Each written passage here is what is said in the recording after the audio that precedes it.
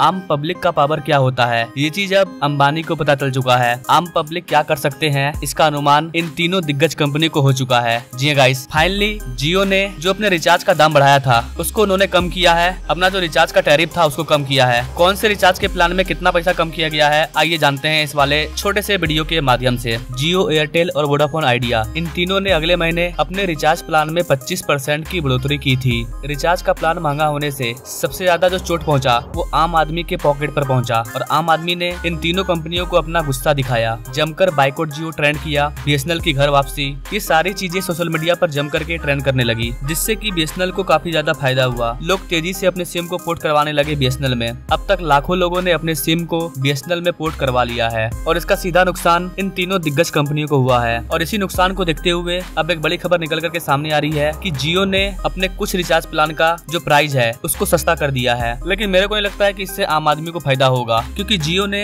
जो recharge plan को सस्ता किया है, वो है नौ सौ निन्यानवे वाला पैक आज से तीन हफ़्ते पहले, जियो ने नौ सौ निन्यानवे वाले पैक का जो प्राइस है, उसको बढ़ा करके ग्यारह सौ निन्यानवे रुपये कर दिए थे। यानी कि तीन सौ रूपया बढ़ा दिया था। और अब बताया जा रहा है की रिलायंस जियो ने इसी पैक को फिर से नौ सौ निन्यानवे कर दिया है। पहले इस वाले टैरिफ में लोगों को चौरासी दिन का वैलिडिटी मिलता था। जियो ने दाम भी कम कर दिया और इसकी वैलिडिटी को भी बढ़ा दिया। अब इस नौ सौ निन्यानवे वाले प्लान में यूज़र्स को चौरासी के बदले अंठानवे दिन का वैलिडिटी मिलेगा। यानी कि जियो ने इस वाले प्लान का पहले वाले प्राइस पर चौदह दिन तक वैलिडिटी को बढ़ा दिया है। लेकिन प्रॉब्लम यह है कि यूज़र्स को यहाँ पर डाटा कम मिलेगा। पहले इस वाले प्लान में यूज़र्स को तीन जीबी डाटा पर डे मिल रहा था। अब इसमें यूज़र्स को पर डे दो जीबी डाटा मिलेगा। तो देखा जाए तो जियो ने कोई भी रिचार्ज का प्लान सस्ता नहीं किया है। उधर से काट करके इधर से निकाल दिया। पहले तीन जीबी मिलता था, अब दो जीबी मिलेगा। तो ये ज़्यादा प्राइस सस्ता नहीं हुआ है। अच्छा अगर ये हुआ भी है तो बड़े लोगों के लिए हुआ है। लेकिन ज़्यादातर जो भारत के आम नागरिक है, वो तो मुश्किल से ढाई का रिचार्ज करवाते हैं, डेढ़ का, तीन सौ का। इसके प्राइस में जियो ने कुछ सस्ता नहीं किया है। लेकिन अच्छी खबर यह है की जियो ने प्राइस को सस्ता किया है। अगर इससे रिलेटेड कोई और बड़ी अपडेट आती है, एयरटेल भी अपना प्राइस गिराती है वी भी अपना प्राइस कम करती है तो उस पर मैं अलग से सेपरेट वीडियो ला दूँगा।